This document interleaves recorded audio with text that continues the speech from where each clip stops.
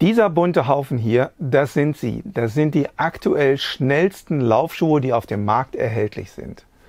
Wir haben mal hier acht Paar zusammengestellt, kosten deutlich über 1700 Euro, wenn man sie kaufen würde und wenn man sie auch kriegen könnte. Was sie auszeichnet, was sie können und für wen sie geeignet sind, das wollen wir uns jetzt mal anschauen. Was die Schuhe eint, sie haben alle eine sichtbar dicke Mittelsohle und vor allen Dingen, sie haben in diese Mittelsohle eingelassen ein Carbonelement, eine Carbonplatte, die in den unterschiedlichsten Formen hier eingesetzt wird. Carbon ist sozusagen das Zauberwort, wenn es jetzt um schnelle Laufschuhe geht. Die äh, Marathon-Weltrekorde der Männer und der Frauen, Bridget Kosgei letztes Jahr und ähm, Eliud Kipchoge vor zwei Jahren in Berlin haben die Weltrekorde aufgestellt mit Modellen aus dieser Serie von Nike.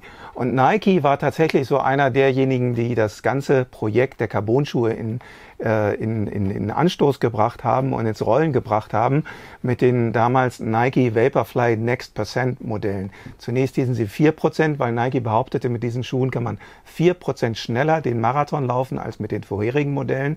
Und ähm, heute haben wir hier diese letzte Version. Das ist der Nike Air Zoom Alpha Fly Next Percent und äh, mit einem Prototypen dieses Schuh ist, dieses Schuhs ist Eliud Kipchoge dann auch die Fabelzeit in, in Wien gelaufen von unter zwei Stunden. Ja, was die Schuhe eint, ist die Carbonplatte. Und was ist Carbon? Ähm, Carbon ist ein Stoff, der sehr hart ist. Man merkt das hier, wenn man versucht, die Schuhe zu flexen.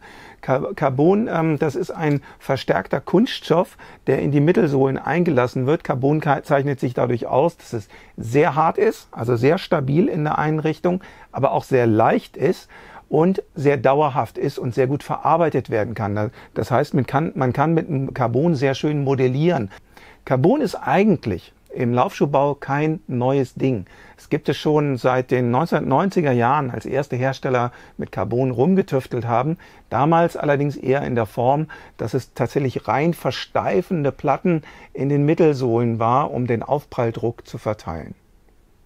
Heute wird Carbon eingesetzt bei den Mittelsohlen, um im Verbund mit der Formung der Sohle und im Verbund mit den Kunststoffmaterialien Materialien ein besseres Laufergebnis zu erzielen, ein schnelleres Laufergebnis zu erzielen.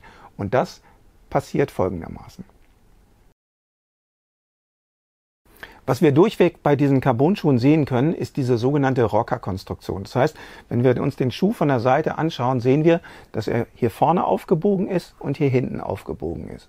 Die Carbonsohle in der Mitte ist eingelassen in Kunststoffschäume, die sehr responsiv sind. Das heißt, sie geben sehr viel der Energie, die beim Aufprall in die Mittelsohle reingesteckt wird, schnell wieder an den Fuß zurück.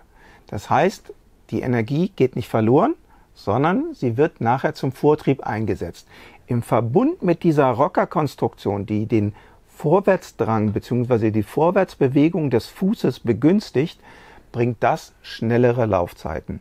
Beim Marathon, mittlerweile haben wir es gesehen, hat sich tatsächlich erwiesen, dass durch diese Schuhkonstruktion die Zeiten der Eliteläufer verbessert werden können. Über 80 Prozent der Läufer, die unter den Top 3 im letzten Jahr waren bei den Marathon Majors, waren mit diesen Schuhen mit Carbonplatten unterwegs. Und das ist auf jeden Fall ein Beweis von der Straße her, dass die Schuhe auf jeden Fall einen Vorteil bringen können. Behandeln müssen wir auf jeden Fall noch die Frage, äh, machen die Schuhe schnell und wen machen sie schnell, beziehungsweise wer sollte sie nicht tragen?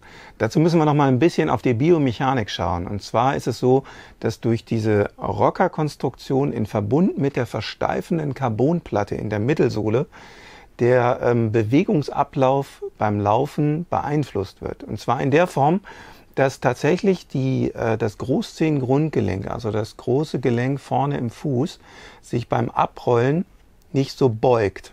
Das heißt, die, die Zehen flexen nicht. Dadurch wird aber gleichzeitig die Achillessehne und die Wadenmuskulatur des Beins stärker beansprucht. Und das zieht sich rauf bis in den hinteren Oberschenkel oder in die ischiochorale Muskulatur. Das merkt man, das berichten alle unsere Testläufer, dass man gerade auf der rückwärtigen Seite der Beinmuskulatur diese stärkere Belastung merkt.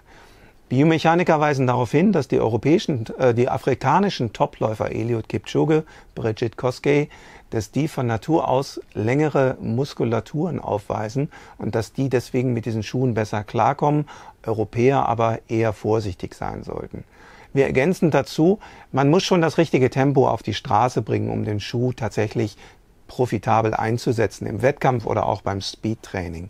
Äh, dann allerdings machen die Schuhe sehr viel Spaß. Sie sind super leicht, bringen einen tatsächlich nach vorne. Man hat subjektiv bei vielen dieser Modelle das Gefühl, dass man tatsächlich etwas schneller läuft, auch bei den Zeiten her, die man dann auf der Uhr sieht.